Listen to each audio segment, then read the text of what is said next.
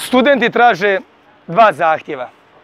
Prvi je useljenje do petka, a drugi je da im se vrati novac koji su izgubili zato što nisu mogli da se usele u studentski dom, a život u Banja Luci su plaćali pet puta skuplje nego što bi to bilo da su živjeli u studentskom domu. Prijateljica iz Bileće koja je došla ovdje da studira, da se useli u studentski dom nije mogla. Drugari, Šipovo, Ribnik i mnoga druga mjesta širom Republike Srpske.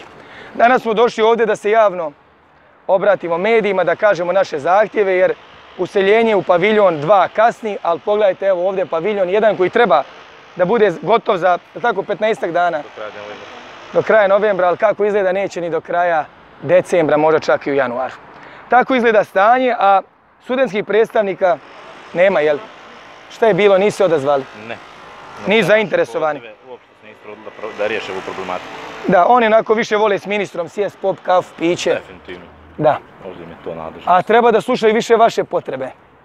Potrebe studenata. Izgleda da sve više predstavnici studenata možda liče na političare, ono, pregovaraju jedni između drugih, dogovaraju neku saradnju i lični interes, a ne potrebe vas. Da to tako izgleda. Nažalost, tako je, ali evo, obični studenti kao uvijek i obični ljudi se najviše bore, jel tako ljudi? Tako. Nećemo odustati, imamo zahtjev, ukoliko ne bude vas u studentskom domu, bit će nas ispred studentskog doma, jel tako? Tako je. Tako je. Idemo da podržimo jedni druge i naša borba ide kao uvijek do kraja.